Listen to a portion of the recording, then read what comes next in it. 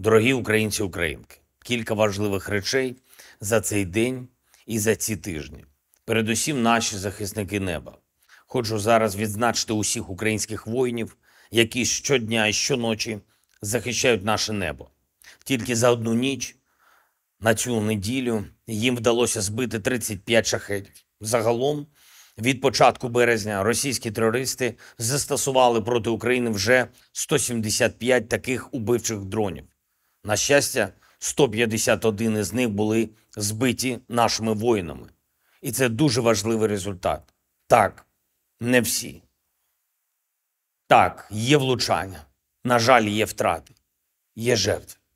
Але й вдається рятувати наших людей.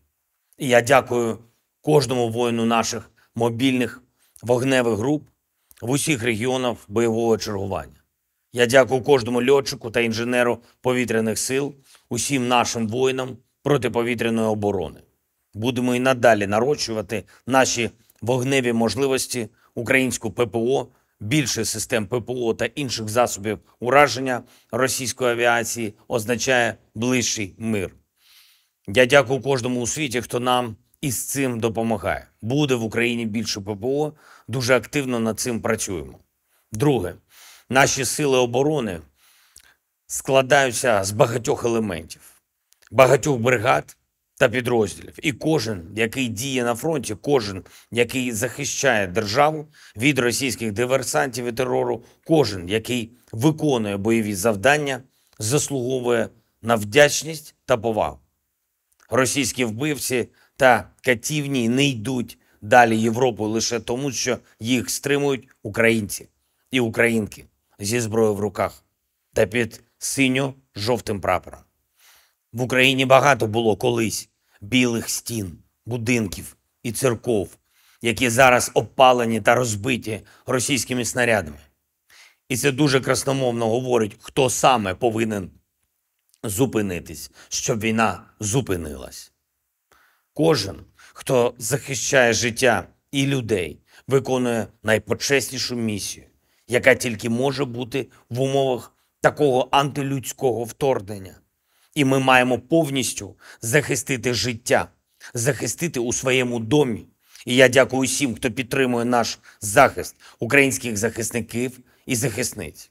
Коли російське зло 24 лютого розпочало цю війну, усі українці стали на захист. Всі християни, мусульмани, іудеї, всі.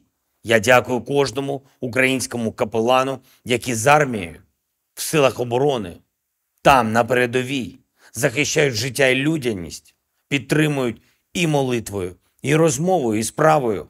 Ось що таке церква з людьми а не за дві з половиною тисячі кілометрів, десь там займатися віртуальним посередництвом між тим, хто хоче жити, і тим, хто хоче тебе знищити.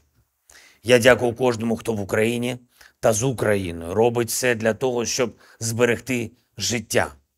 Дякую всім, хто допомагає та хто дійсно поруч діями та молитвами.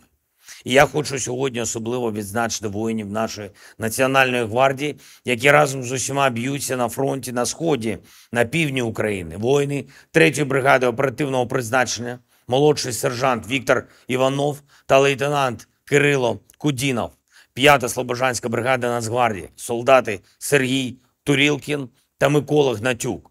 Також відзначив воїнів 1-го та 3-го штурмових загонів Центру спеціального призначення Нацгвардії Омега.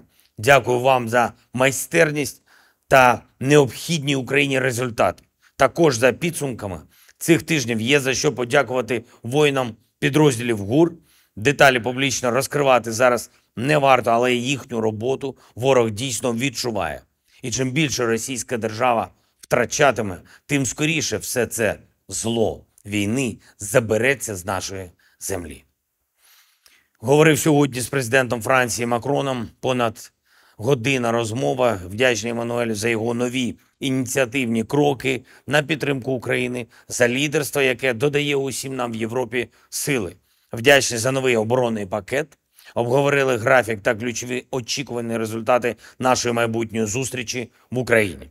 Ще одне Зараз починається священий для мусульман України та світу місяць Рамадан. І у цьому році Рамадан, на жаль, затьмарений війною та стражданнями, які не стихають. Хай за цей місяць ми усі все ж таки станемо ближче до чесного і справедливого миру не лише для України, а для усіх народів, які страждають зараз від війни. Це в силах людства досягти такої єдності, щоб справедливість оберігала життя від воїн. Я дякую усім, хто допомагає Україні і українцям. Дякую кожному і кожній, хто захищає життя та справедливість. Рамадан, Мубарак, слава Україні!